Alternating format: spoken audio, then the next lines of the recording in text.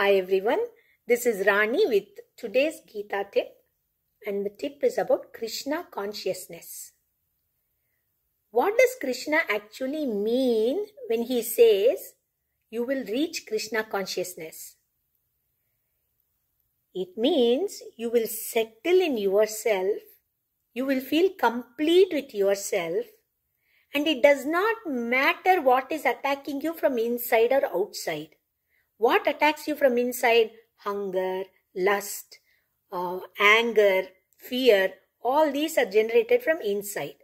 All these emotions and the complex mixture of what happens, that comes from inside.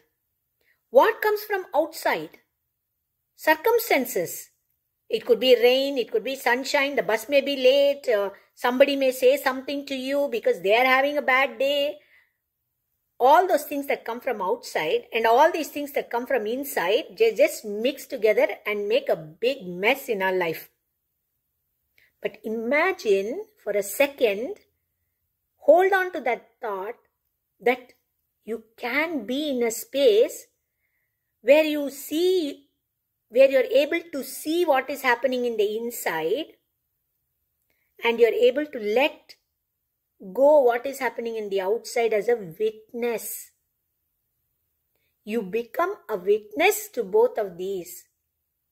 Then you will be able to capture the joy, that eternal joy, that eternal bliss, the unending bliss, which is Krishna consciousness. Let us all strive for it. It is absolutely possible for all of us to reach it. Let's all strive for it. Jai Shri Krishna. Please subscribe to our channel and join our classes so we can continue this dialogue further. Thank you.